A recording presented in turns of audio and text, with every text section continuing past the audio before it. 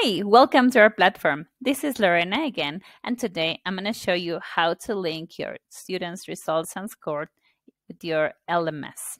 Currently, we offer integration with Google Classroom, Canvas, Teams, Schoology. So in order to start, we're going to make sure that we can see the LMS linked sign right next to your name at the top left corner you have to check that you can see this and it is in green. If you don't see this, you would have to log off and log back in by using your credentials. Let's go to the next step. Then we have to go to the teacher's panel. We go to grading. We have to go to activity results right here.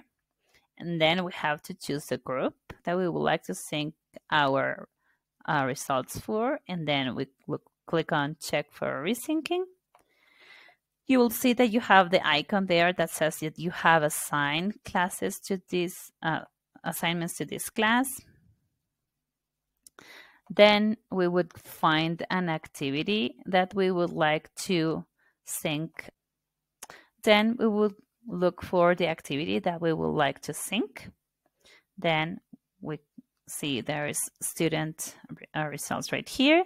So we would click on sync.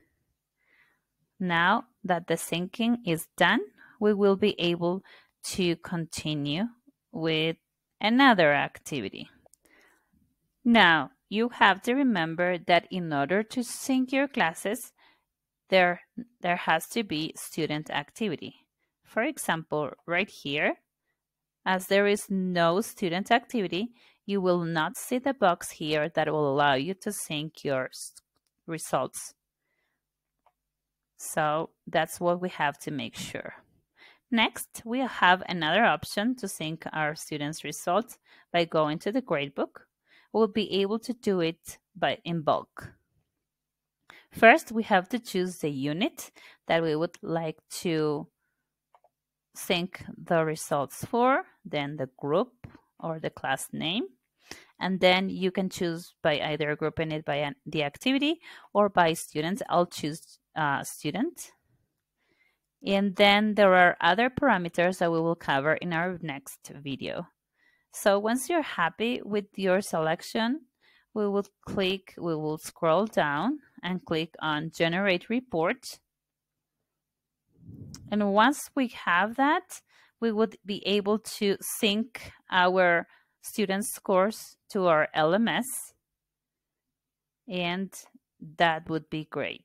So these scores will be moved to the student report that we have into our LMS. If you have any questions, you can always send us an email at efl at ourstoryscape.com or you can always click on the help button. You have additional options to contact us there. Thank you for watching this video.